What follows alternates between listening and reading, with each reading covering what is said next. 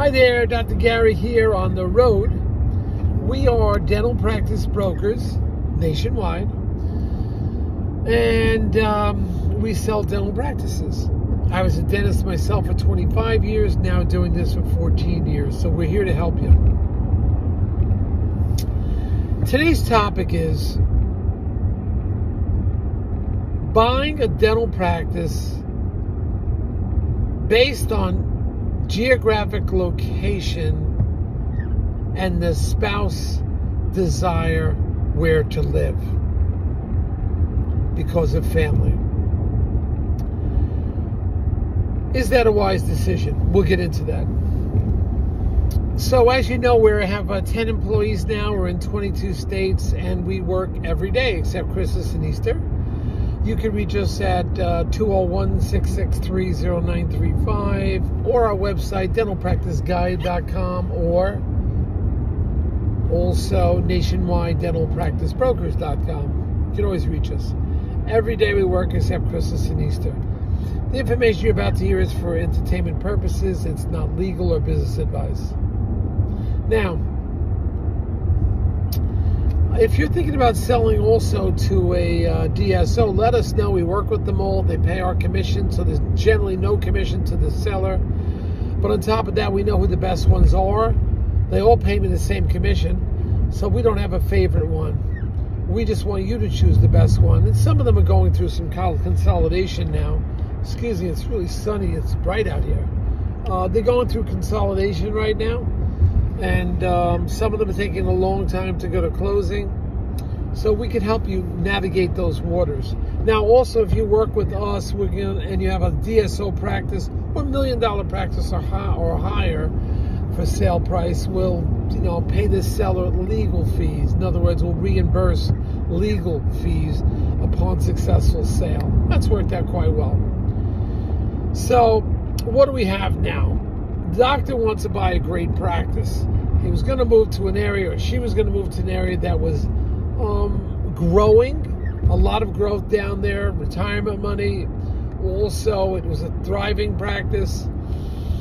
And the doctor was actually turning away patients because they could only handle so much.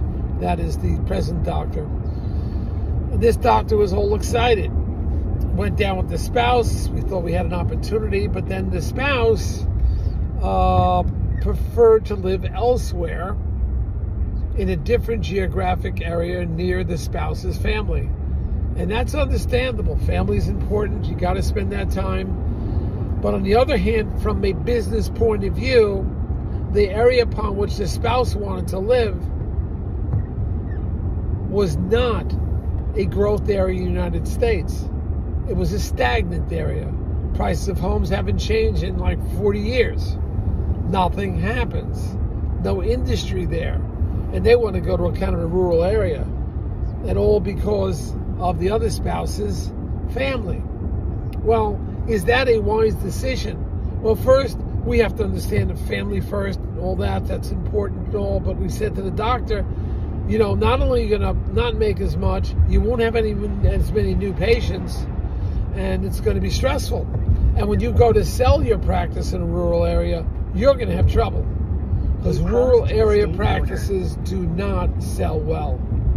So you'll find practices for sale, but you won't be able to sell yours. In 20, 30 years, 20, 25 years comes pretty fast. And it doesn't have the growth, doesn't have the population. So making a decision based on the spouse desire to be near family, all due respect to that, certainly.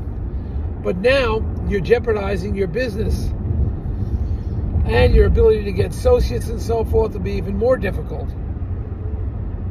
So we're suggesting you'll do so well at your original location that had high growth, turning away patients, high uh, population, that you could buy a house in the rural area that your spouse wants to go to and visit it every so frequently. Spend your weekend, spend your summers there, your Christmas holiday, your Easter holiday, all your holidays you could spend at that home you bought at the rural area. Okay? You maybe be able to retire younger and just commute back and forth occasionally for holidays and all that type of thing. That could work out very well. Rather than saying you want to live there because the family is there. Well, that'll make you as the spouse comfortable, certainly. But the husband may not make as much financially. And it put the husband under more stress. And when it comes time to sell the practice, get associates, it's going to be more challenging. But you're near your family, all due respect for that. But is that the priority? Because it's not a business decision, that's a social decision. But you're going to an area that's a rural area. Why would you do that and sacrifice a dental practice? I'm saying you can make enough money that dental practice to buy a little cottage, a beach house, whatever, up in the rural area, up in the area that the uh, spouse wants to move to. And you can go there with more frequency. Or the spouse wants to stay there for a bit, uh, you know, a couple extra a week or two, she certainly, the spouse can. So that was our thinking because the doctor called us for our opinion. And I tried to explain that that area that you want to grow, people don't spend as much on their teeth. You don't have the growth. Yes, uh, those areas are nice. You look out to the forest or whatever you do there, but it's not the same. So we're telling them make a decision based on a business decision, not a social decision, and then adapt by pleasing the spouse and perhaps buying a, a summer home or a spring home up in your rural region. You'll be able to go up there it should work out great for you. So those are some ideas we exchange. We just simply don't feel you should make your business decision based on location of where the spouse's uh, family is. All right. All right. Thank you for listening. Hit the subscribe button if you want to be alerted for the more uh, videos. We are frankly uh, doing well here. I think we're at 100, 460 YouTube videos, something like that. I mean, we're this quite a bit. So we're excited about that. And we hope you're learning something from these too. All right, Dr. Gary signing off. Here we go on these beautiful highways of New York. Woo! What pothole city. Bye.